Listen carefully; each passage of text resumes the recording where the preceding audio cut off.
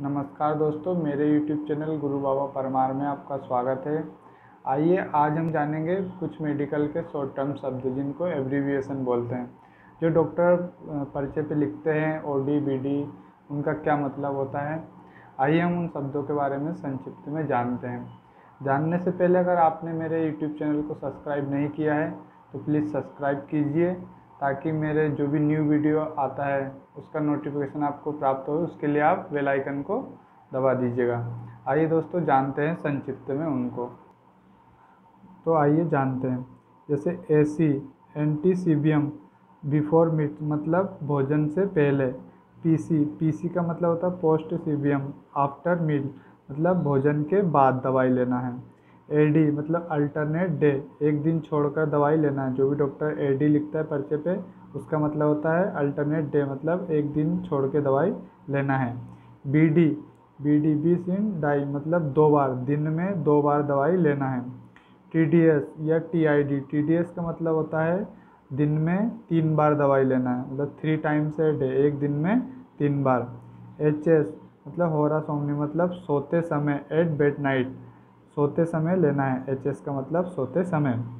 O D ओमनीडाई मतलब once a day एक बार दिन में। ओ डी मतलब केवल दिन में एक बार लेना। OM O M omni mane मतलब एवरी मॉर्निंग रोज़ सुबह लेना है। Every morning O N omni nocte मतलब एवरी नाइट रोज़ रात को, प्रतिदिन रात को ओ एन का मतलब। पी आर एन का मतलब प्रो रे नॉट मतलब जब ज़रूरत हो तब when necessary P R N का मतलब जब ज़रूरत हो तब लेना है। क्यू डी एस मतलब फोर टाइम्स ईच डे प्रतिदिन दिन में चार बार लेना है क्यू डी एस का मतलब।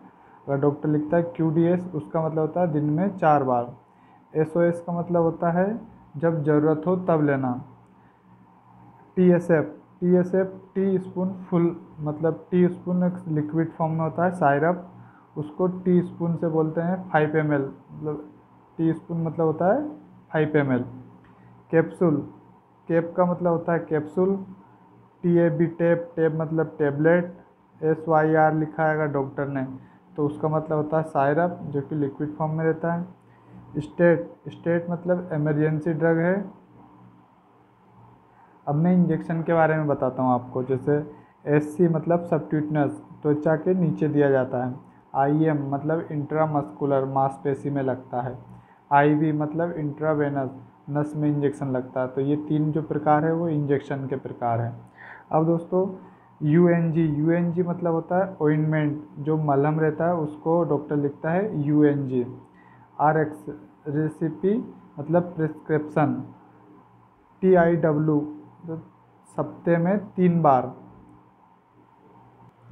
जी तो मैंने आपको जैसे बताया अभी कि इस प्रकार अगर कोई डॉक्टर लिखता है तो आप खुद समझ सकते हैं कि आपको डॉक्टर ने किस हिसाब से दवाई गोली लिखी है, किस हिसाब से लेना है, कितने टाइम लेना है, ये आप खुद देख के समझ सकते हैं उसके प्रिस्क्रिप्शन में।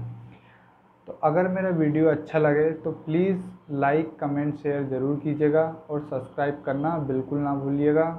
नमस्कार दोस्तों।